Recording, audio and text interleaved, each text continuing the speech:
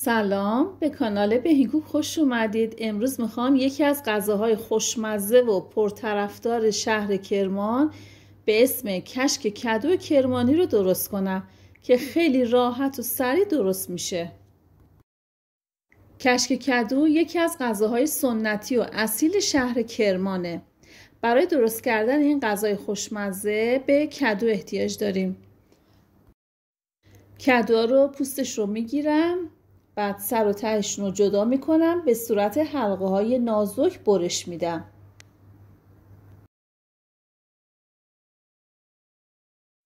خوشحال میشم مثل همیشه با لایک و کامنتاتون باعث پیشرفت و حمایت کانالم میشید. بعد از اینکه همه کدو رو برش دادم حالا نوبت سیب زمینیه. سیب زمینیارم از قبل شستم پوستش رو گرفتم اونا رو به صورت ورقه های نازک برش میدیم. سعی کنید برشتون نازک باشه که خیلی راحت تر آماده بشه این غذا. توی تابه یه مقدار روغن میریزم. بعد کدوهای حلقه شده رو اضافه می‌کنم به تابه. اونا رو تف میدم در حدی که فقط نرم و سبک بشه نیازی نیست زیاد سرخ بشه. فقط یه کوچولو تف بخوره رنگش تغییر کنه کافیه.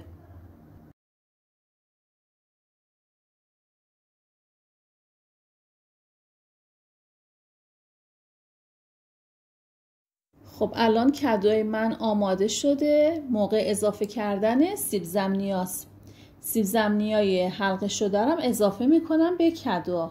اونا رو مثل کدو یه تفت مختصر می‌خوایم بدیم. با حرارت ملایم آروم آروم تف بخورن و سبک بشن. خب تا سیب زمینی و کدوی من آماده بشه میرم سراغ پیازا. پیازایی که پوست گرفتم پوستشون رو جدا کردم. به صورت نوارای نازک برش میدم. پیازامون هر چقدر نازکتر باشه بهتره. بعد اینکه این غذا هر چقدر پیازش بیشتر باشه بهتر و خوشمزه تر میشه. توی تابه دیگه یه مقدار روغن ریختم. پیازا رو میریزم توی تابه. اونا رو تف میدم تا کاملا سرخ و طلایی بشه. این پیازا یه مقدار برای توی غذا استفاده میشه یه مقدارم برای روی غذا و تزیین غذا. خب تا پیازام آماده بشه میرم سراغ سیب زمین و کدوها اونا رو دوباره یه هم می‌زنم. دوباره تف بخوره سیب زمینیام خب بعد از تف خوردن یه مقدار آب میریزم روی سیب زمینیام تا یه مقدار نرم بشه و کاملا پخته بشه با کدوها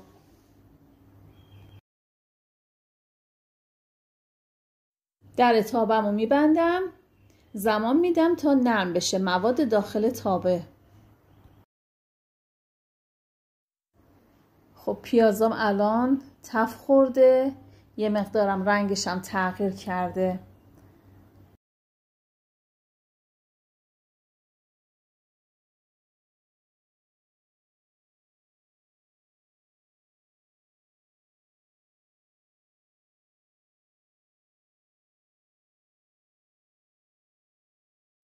این پیازا باید طلایی خوش رنگ بشه. خب الان سیرا رو که ریز خورد کرده بودم اضافه می‌کنم روی پیازا. اونا رو یه تفت مختصر میدم.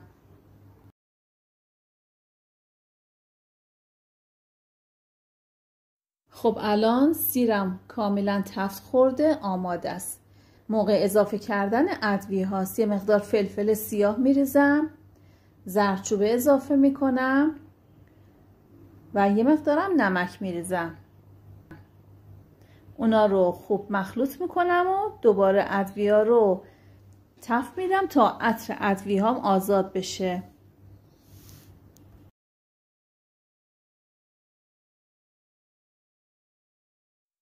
بعد نعنای خشک اضافه می‌کنم.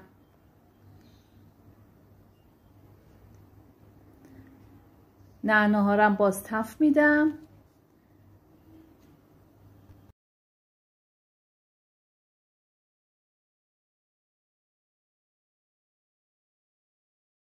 آخر کارم مغز گردو اضافه می‌کنم. مغز گردو رو ریز خورد کردم. دوباره گردو هم تف میدم. در حد یکی دو دقیقه کافیه.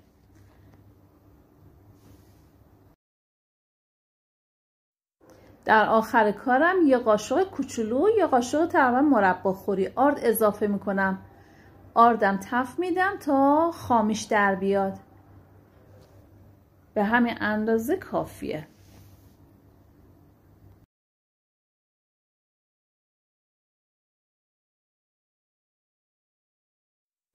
سیب زمینی و کدوی که گذاشته بودم نرم بشه و بپزه الان می‌بینید آبش کاملا کشیده شده و کاملا نرم شدن پخته شدن سیب زمینی ها. بعد مواد پیازداغی که آماده کرده بودم اضافه می‌کنم به تابه. با هم دیگه خوب مخلوط می‌کنم تا کاملا یه دست بشه.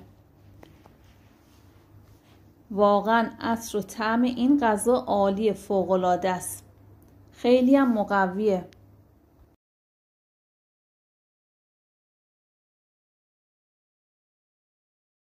خب بعد از اینکه خوب یه دست شد کشکی که رقیق کرده بودم اضافه می‌کنم به تابه. مواد رو با هم دیگه خوب مخلوط می‌کنم. به خاطر که بهتر یه دست بشه اونا رو با گوشکوب برقی کاملا میکس می‌کنم. یا با هر وسیله که داشته باشید می‌تونید اینا رو میکس کنید. حتی با گوشکوب دستی هم این کار رو میشه انجام داد. الان کاملا یه دست شده. غذای من دیگه آماده شد.